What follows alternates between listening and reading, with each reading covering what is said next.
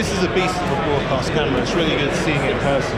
Just in terms of sheer size, like there's a lot of files on here.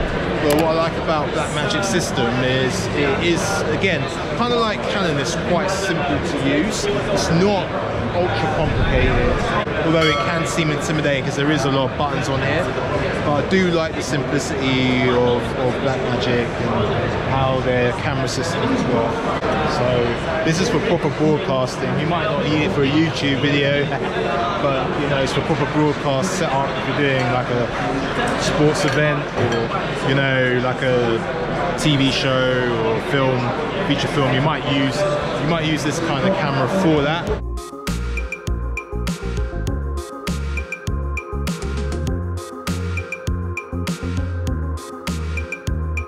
There's some time code, 12 voltage. You've got, I think this is probably for, if you want to hold the camera, you might do it here. Like you saw with like the FX6, Sony FX6 or the uh, Canon C300 Mark Mark 3 or Mark and Mark 2 I believe. Got an SDI port here, SDI out. Got 12 voltage out here, which is cool. This one's for the lens. So I believe that's so you can control the lens. So that comes in here. And then you've got your devices for the lens on here. So this is a beast of a cinema lens. You've got like, that's your focus system. Okay, your iris, all of this. You've got this uh, beast of a lens here. Got a Fujinon lens attached. 4K broadcast quality camera. And you've got your different dials on the lens as well. And this is controlling your iris and your focus. And your t-stop. You need a proper tripod for this so that's really good. Got this tripod system here. By Sancho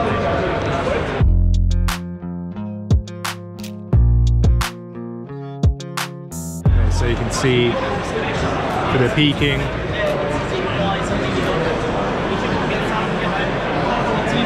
The contrast here. The brightness. And there's a menu system here. So if you push it in, then the menu comes up. Right, so when you want to select on here, what you got to do, you got to push it down and then turn it like this. And then it will change your parameters on here. So you can see with false color. Changes. But what I need to do is push it down. And then I can move on to the next one. You see your guides. Turn them on and off. I've got my guides on. Zoom. On zoom off display LUTs. So now you've got different film LUTs there.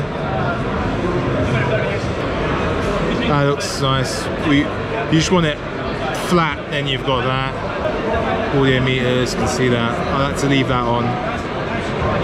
Exposure meters got that on. Red channel. Green channel blue channel. Black and white. So you can switch it to black and white. On and off. So that's for the display. That camera kind of looks like the one on that Warrior Creator merch. Links in the description below. And then you've got your shortcuts.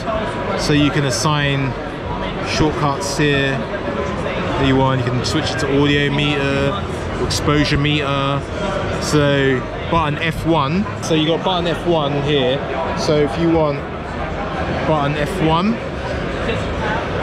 then you can have your exposure meter be that okay? Or you could have it as a red channel. Button F2 you've got your guides. You got your LUTs display you can change whatever you want. So again if I want it as my guides I just switch that. So again, the button two. F2 would be here. So you got F1, F2, and F3. So you can select what you want there. You can have your false color, your guys, You can just change it to whatever you want. So if I want it to be display LUTs, I've changed that now. So that's great. And then you, with your setup, you can change your different settings here. So you got front tally brightness, rear tally brightness, focus assist, frame guides. We have area, a safe area guide on grids, audio meters, and we've got the LCD brightness. Well, the 100, we'll keep it there. So that's how you change your setup, and then your cursor settings are here. So that's your menu system up here. Just go back. You can just press back as well, and then you go back to the main screen.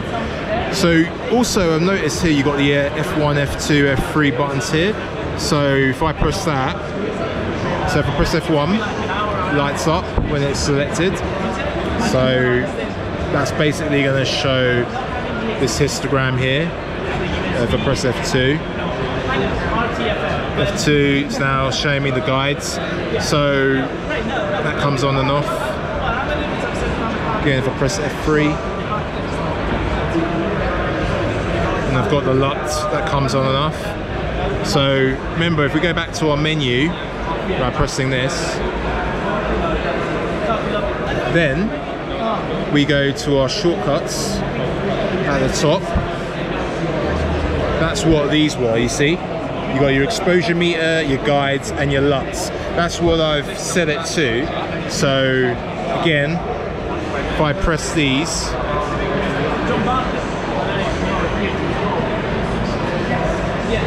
it's giving me those different settings, you see? So you can set that shortcuts up here, but simultaneously you can press actually it doesn't actually work that way. It works more for on here. So literally just discovered with those F1 F2 F3 buttons they're actually on this part of the camera here with the monitor not here on the side of the camera. So that's all operated up here. So that's where you would change your shortcuts. This here is for your shortcuts for all of that so that's good. So you can customize that to whatever you want which is really really cool.